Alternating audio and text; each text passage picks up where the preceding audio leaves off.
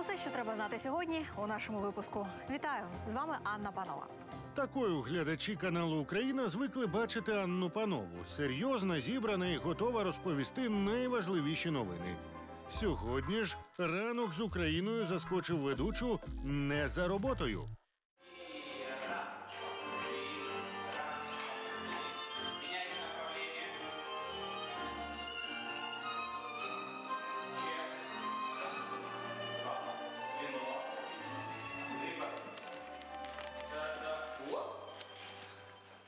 Аню, вітаю!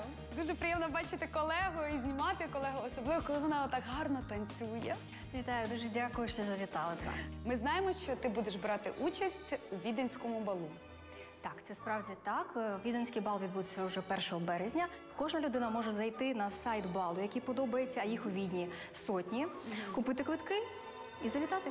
Цього року ми вирішили вивчити танго, тому що торік ми ще танцювали вальс. Ми вирішили, що цього замало, потрібно тренуватися, але танго значно складніше насправді. Для Ані танці справжня пристрасть, може навіть більша за телебачення. Справа, якій вона готова присвячувати весь вільний час. Хореографією панова займалася ще в дитинстві. Щоправда, професійною танцівницею так і не стала. Я мріяла стати вчителькою, потім юристом, ну а потім вже стала журналістом. Вже в дорослому віці я знову пішла на тренування вже для дорослих і займаюся балетом вже 9 років. Та й як сьогодні можна не любити танці, коли за нею танцює її кохана людина? Як взагалі вдалося вмовити чоловіка, Аню? Наприклад, я свого хлопця вмовити не можу піти зі мною на танці. Насправді тут жодних секретів немає. Точніше, секрет у тому, що е, поїхати на бал запропонував мій чоловік. На той момент ще він наречений. А скажіть, хто в вашій парі слабе звіно, скаже? так? Хто кому топчить ноги? Ну насправді ми топчемо ноги обом одне одному. Це, це цілковита правда. Ну, я на взуття. Так, мене, мене абсолютно затоптане. Ну, в чоловіка просто темне взуття, тому не видно, як я е, просто на ньому трен- тренуюся, так би мовити. Ну насправді в мене хоч якийсь досвід танців є.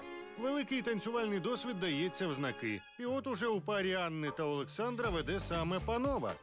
Ну не повинна жінка бути сильніша за коханого. Невже на паркеті він не стане лідером? Тим паче, що у стосунках саме Олександр зробив перший крок. Нехай і не в реальному житті. Пара познайомилась у соцмережі. Хто там що пише. Я не відповіла. Проте, коли він почав через наших спільних знайомих е, наводити довідки про мене, якось запитувати, до мене це доходило. Відповідно, я вже зайшла на його профіль і поцікавилася, хто ж ця людина. Коли він за кілька тижнів написав вдруге, я вже відповіла, і ми зустрілися. Перше побачення, і чоловік шокував її. Жодних компліментів, ніякого захвату. Олександр тільки те й робив, що говорив про роботу.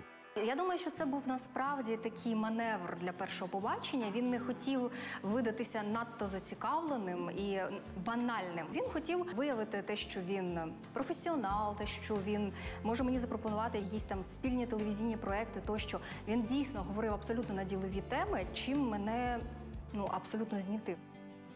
Олександра вистачило ненадовго. Робочі теми змінили компліменти, начебто ділові зустрічі перетворилися на побачення, і, врешті-решт, омріяна пропозиція руки та серця. Навесні минулого року пара одружилася.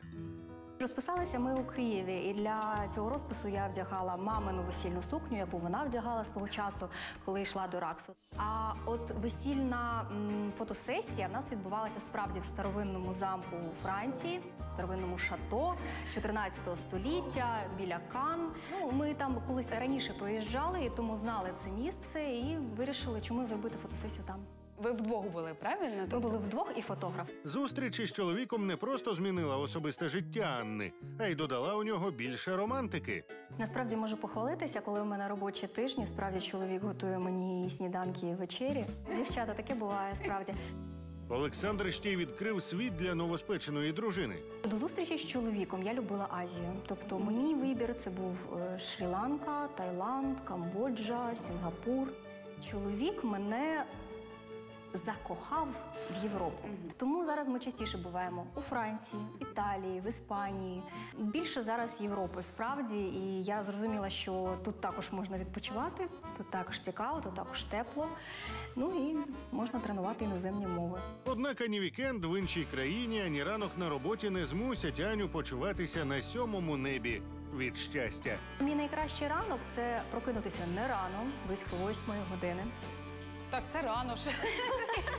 Ну, добре, можна трішки пізніше, ніж у восьмій. Е, Пити каву, насолоджуватися просто краєвидом з вікна і просто нічого не робити і нікуди не бігти. Якщо я маю зранку годину-дві, от можливість нікуди не бігти і просто посидіти спокійно, ні, ні про що не думаючи, я просто я відновлююся.